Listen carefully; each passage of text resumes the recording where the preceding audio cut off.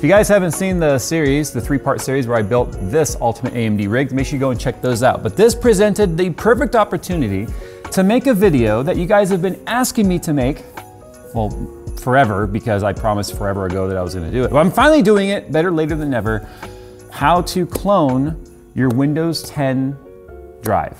That way you can have more than one of them. All right, so there's a lot of different tools that we can use to do this. We are gonna be choosing the uh, free variety because why not? There are plenty of free options out there that can do this task with, uh, without having to pay for things. So the one we're using today is the AOMEI, A-O-M-E-I backupper. There's two versions of this. There's a backupper and then a partition assistant. Um, we only need the partition assistant if you're going from a backup uh, if you're cloning from a smaller drive to a larger drive. And the reason for that, and we'll talk about that in a second, uh, is if you're going from a smaller drive to a larger drive, it's gonna turn the entire drive it's cloning into a partition on the larger drive. So the excess that's not being used will be a separate partition and will show up like a second drive in that one hard drive because you can slice up drives into partitions and they will all show up as individual drives. So you would use the partition assistant to just extend that volume to being the total size of the drive. There's other tools you can use to do it. I believe the Windows uh, disk management tool can even do it for you. However, we uh, would be using the partition assistant for that. So the AOMEI backupper, there's a free version and then there's a pro version. Now, all the things we need are available in the free version. You just have to sign up for their newsletter, and that's all it takes to get it for free. You can cancel the newsletter later if you like. Um, but hey, given the fact that it's free, I think that's a very fair trade. So there's a couple of different options here. You've got new backup and new sync, and then you've got all these options here on the left. So the way we've got this set up is I've got my one terabyte NVMe SSD drive in there, and then I'm actually just using an external dock here for a 980 gigabyte or 960 gigabyte Patriot Ignite uh, SATA SSD. So I don't think most people would be going from an NVMe to a SATA, but the drive type really doesn't matter. The only thing the drive type is going to determine is how fast the copy sort of happens. Um, and there is a part of this that takes quite a while, so there will be an intermission during this video. So what we're going to do is make sure that your drives are installed uh, either through a, an interface like this or in the computer or whatever. You can clone it in the computer, let's say it's an NVMe, you can put it in one of the NVMe slots, clone it, and then take it out and put it in another computer. You can plug in the SATA cables and the SATA power for a SATA drive, you know, internally or externally. The only thing is USB 3.0 is actually going to be a slower process in terms of the copying because USB 3.0, 3.0 interface is not as fast as SATA 6. So I'm slowing it down technically by doing it this way. However, it's more simple to just stick it in that. And I think I got that for like 30 bucks or something like that off Amazon or apparently Best Buy because it's insignia. All right, so on the left over here, you're gonna click clone, and then we're gonna click disk clone. Now the thing about disk cloning here, Windows 10 has a very specific partition type and a very specific install. You can't just clone a drive by using any clone tool and have it work.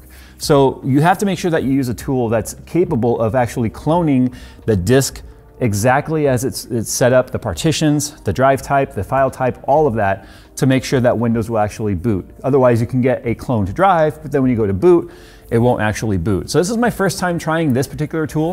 And we're gonna see in real time how it goes. So you have to choose a source disk. In this particular instance, it is uh, disk zero. This is our NVMe, it's a two terabyte NVMe.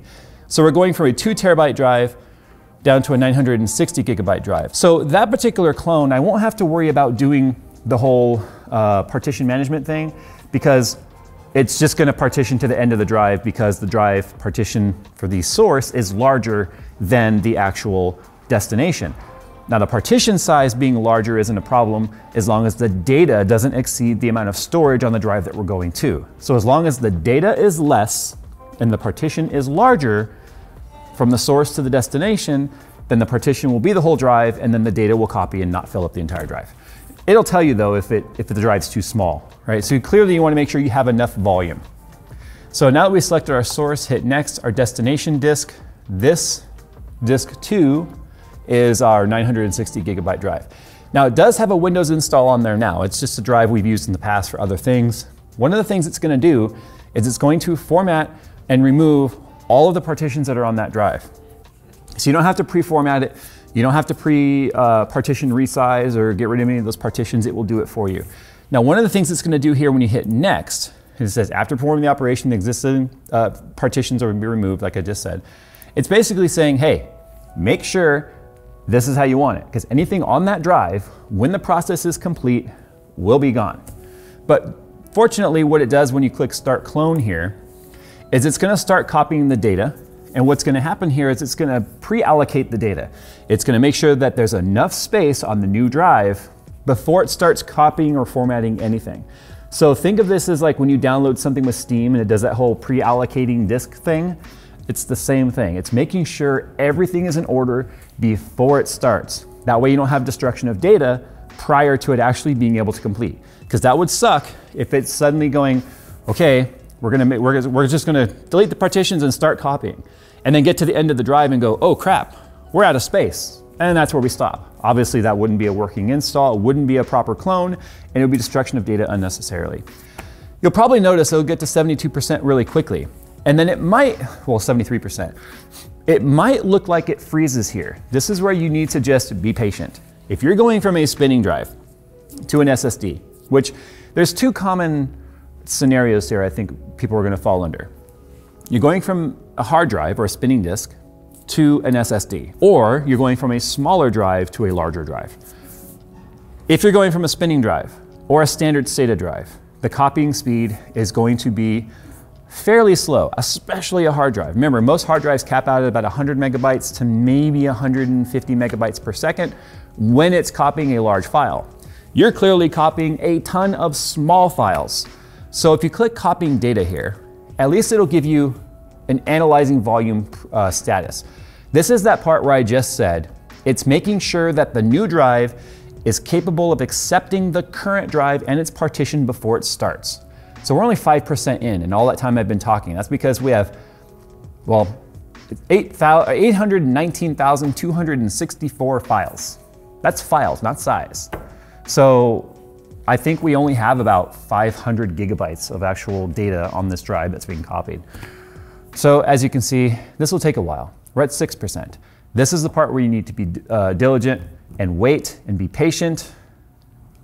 If, if for some reason your system loses power or restarts, nothing was damaged, like I just said, nothing started copying, no partitions have been removed, until the analyzing process is done and it starts copying the data, which will go faster than analyzing usually, uh, you would just have to start the process over. And then any analyzing time that you spent that didn't finish is wasted and you just start all over. So what we're gonna do right now is we're gonna go play a game or something while we wait because this could probably take up to an hour. Um, depending on your drives, it could take several hours. So just click that copying uh, data button. That way you can see the progress right here. That way you don't think it's just frozen and stuck on you. A lot of people do this. They get hyper, they get stuck on the whole, it's not moving percentage because it got to 73 real fast and then it stuck. So this program sucks because it's freezing. It's not freezing, you're just not looking at the details to see what's happening. So we'll show you what happens next when that portion is done.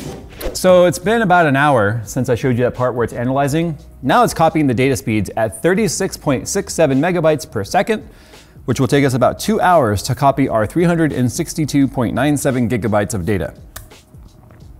If they were both NVMe, it'd be much faster than that. But a lot of that's because of the fact that we are going through USB 3.0.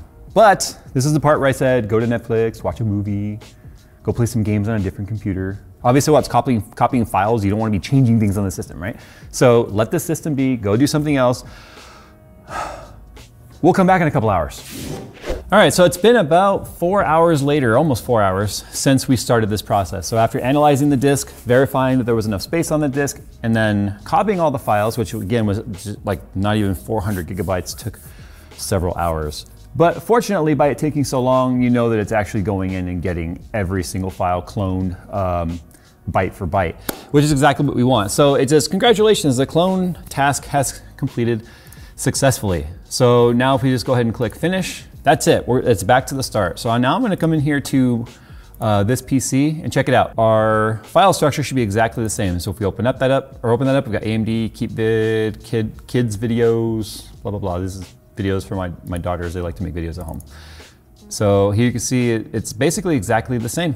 So there you go. You can see it is exactly the same in the way it's ordered. The dates of everything is even the same. See, the last time that was modified, 11-7-2020, 932, 11-7-2020, 932. So it's all identical. Now, This is the part where I said if you had a drive that's larger than the one you're copying from, you would now have an unallocated partition on there. So it would look like a second drive according to Windows. Um, what you want to do now, if that's the case, is open up this partition analyzer or partition assistant. So this is the drive we copied from there to here. And if this was, let's say, the one terabyte mark, you would see a line there, just like you see here. These are different partitions. So you see these little separated lines. Uh, you would see an unallocated partition on the end, and then you'd be able to use this tool to actually extend the partition or remove the partition entirely. Uh, it's up to you. Simple enough. Again, it's another free utility and it's just called OEMI, AOMEI Partition Assistant 9.0. So now I wanna see if everything worked. What I'm gonna do, take that drive, I'm gonna attach it to a SATA cable like this. I'm gonna just plug in SATA power and let it hang out the back. And I'm gonna see if it will boot in to Windows 10 after doing that clone. There's my drive, that popped up. That was very satisfying, wasn't it? Whoa, okay, caught it.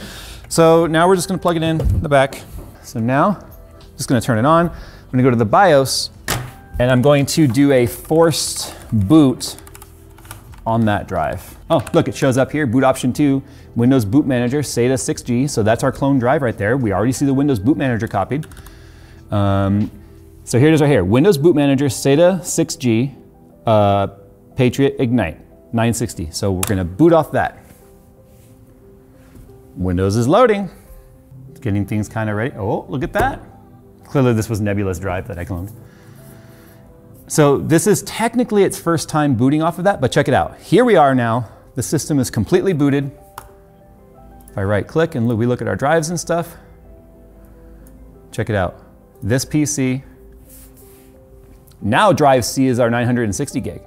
And then this was our original drive that we booted from last time. So what took a second there was the fact that it had to remap those drives. So essentially right now, anything that would be installed on another drive that has, look at all these broken links right here. You see this? That's because a lot of these things might have to be remapped. And clicking on them usually is all it takes to get it to fix itself. And these are all my games. Oh, you know why those are all broken? Because this drive came out of Nebula and the drive that those are installed in is no longer in the system. But if they were, those, these wouldn't be dead links like they are. So as you can see, and it wants me to relog into Microsoft account because of the fact that a clone drive doesn't actually clone over the user accounts like that. You have to relog in. That's about the worst thing you'd have to deal with. But as you can see, we've cloned Windows 10, we're fully booted on it, and we did it for free. No, they did not sponsor this video at all. This is just an, a, a program that I happen to know that has a free version that will allow you to actually clone your Windows 10 without having to pay for it. So I'll put a link down in the description below. It's probably gonna break the website. So if you guys are watching this video right now and you're like, the website's not working, it's because I accidentally DDoSed them by simply showing this to you guys. But I've been asked to do this video so many times and I thought it was important to actually share it with you. So as you can see, it all worked flawlessly. This also works really well to do uh, backups. This program does also have uh, backup features built in where every night or every other night you can have it save an image of your drive or an ISO of it to another drive, which that drive will do nothing but sit there as like a redundant backup, which is uh, how a lot of our systems work here. Every, every day Phil's system is backed up, you know, and you, he does it manually, but you could do it through a, uh, a system like this where every night it would do it if their computer is left on. I hope this showed you guys it's not hard. And the amount of people that told me you can't clone Windows 10 clearly are wrong. So there you go, guys. If you like this video, do me a favor and give it a thumbs up. If you're new around here, feel free to hit that subscribe button. It is free. I mean, I pay you guys two cents, essentially. You know, stupid dad joke there. But if you guys also know of someone that's trying to clone Windows 10, share this video with them. Or if you want to, if you built another computer and you want to clone your drive, there you go. There's an ethics discussion in there, I guess, about whether or not cloning it is um, legal legit, whatever. What's gonna happen though is if you take a clone drive and you put it in another system with all different hardware, it's gonna prompt you to reactivate anyway. And how you go about that, whether it's buy a new key or reactivate the key or whatever, totally on you. I'm not responsible how you guys handle that. But as you see, you can clone Windows 10 flawlessly and effortlessly. It just took about four hours of going and doing things. So I spent about what? What would you say, Nick? If I wasn't doing a video, I could have done the entire like input process in like three minutes, five minutes worth of setup, four hours worth of doing other things, and then you guys saw how long it took me to get it up and running. It took longer to put a drive in here and get it all set up than to actually just boot the system. Didn't even have to change anything in the BIOS technically, maybe the boot order. Make sure that drive is your boot, your main boot drive. All right, guys, I've rambled on enough, long enough to make this video 10 minutes long. All right, we'll see you in the next one. Clone your drives.